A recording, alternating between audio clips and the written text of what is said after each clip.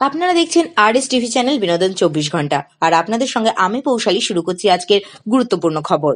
শহরের বুকে ফের নৃশংসভাবে খুন বৃদ্ধা। চাঞ্চল্যকর এই ঘটনা ঘটল গড়িয়াহাটের ফার্স্ট গরজা লেনে বৃহস্পতিবার সকালে গলা কাটা অবস্থায় রক্তাক্ত দেহ উদ্ধার হয় টু পি গরজা লেনের বাসিন্দা উর্মিলা দেবীর। খবর পেয়ে ঘটনাস্থলে আসে গড়িয়াহাট থানার পুলিশ। ঘটনাস্থল থেকে নমুনা সংগ্রহ করে কলকাতা পুলিশের ফরেন্সিক বিশেষজ্ঞরা। তলব করা হয় লালবাজারের হোমিসাইড শাখার আধিকারিকদেরও। স্নিফার ডগ নিয়ে এসে চালানো হয় তল্লাশি। এই দিন ঘটনাস্থলে পৌঁছান কলকাতা পুলিশের গোয়েন্দা প্রধান মুরলীধর শর্মা। স্থানীয় সূত্রে খবর, ছেলে ও বৌমার সঙ্গে ভাড়া বাড়িতে থাকতেন সত্তর বছরের ওই উর্মিলা দেবী। ওই পাড়ার মধ্যে উর্মিলা দেবীর পরিবার আর্থিকভাবে সচ্ছল ছিল বলে জানাচ্ছেন প্রতিবেশীরা। তবে ঘটনাস্থলে বা ঘটনাচক্রে ছেলে ও বৌমা বিয়ে বাড়িতে নিমন্ত্রণে শিলিগুড়ি যাওয়ায় রাতে একাই ওই বাড়িতে ছিলেন ওই বৃদ্ধা। বৃহস্পতিবার সকালে ওই বাড়ির পরিচারিকা কাজে এলে তিনি প্রথম উর্মিলা দেবীর গলা কাটা দেহ মেঝেতে পড়ে থাকতে দেখেন। সকালে বাড়ির দরজা খোলা অবস্থা ছিল বলেও জানান ওই পরিচারিকা। তার চিৎকারে ছুটে আসেন উর্মিলা দেবীর প্রতিবেশীরা।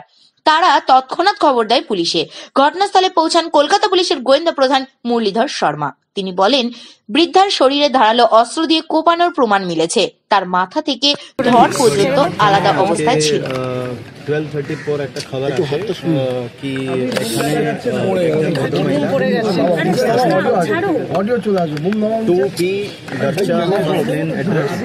ওখানে একটা ঘরে একজন ভদ্রমহিলা ওনার বডি পড়ে আছে। অ্যাকর্ডিংলি আমরা আসি। লোকাল থানা প্রথমে আসে লোকাল ডিসি সাহেব আসেন। তারপরে হোমিসাইডও এসছে। আপনারা দেখেছেন ডক্টর কালিও এখন এসে গেছে আমার প্রিলিমিনারি যেটা আমরা পাচ্ছি প্রিলিমিনারি আমরা যেটা পাচ্ছি একজন ভদ্রমহিলা যিনার নাম হচ্ছে উর্মিলা কুমারী ওয়াইফ অফ চুহার সিং। ওনার বয়স অ্যারাউন্ড সিক্সটি ওনাকে মার্ডার করা হয়েছে। এবং মাল্টিপল ওখানে ইনজুরি আছে। কোনো ধারধার অস্ত্র দিয়ে মার্ডার করা হয়েছে। এবং যে মার্ডার করেছে, সে গলাও ওনার কেটে দিয়েছে। এবং প্রিলিমিনারি আমরা যেটা পাচ্ছি সেটা হচ্ছে ঘরের ভিতর অনেক জিনিসপত্র যে আছে, যেটা দুটো রুম আছে, দুটো রুমের অনেক জিনিসপত্র আহ, লণ্ডভণ্ড অবস্থায় ছিল।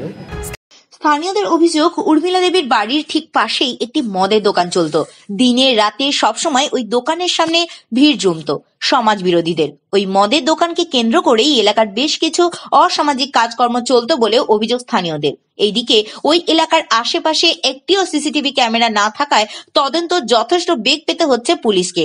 ফরেন্সিক বিশেষজ্ঞদের তদন্তকারী আধিকারিকদেরও অনুমান, রাত সাড়ে বারোটা থেকে রাত আড়াইটের মধ্যে এই ঘটনাটি ঘটেছে। ওই নৃশংস খুনে দুই বা তার বেশি আততায়ীর হাত থাকতে পারে বলে অনুমান পুলিশের।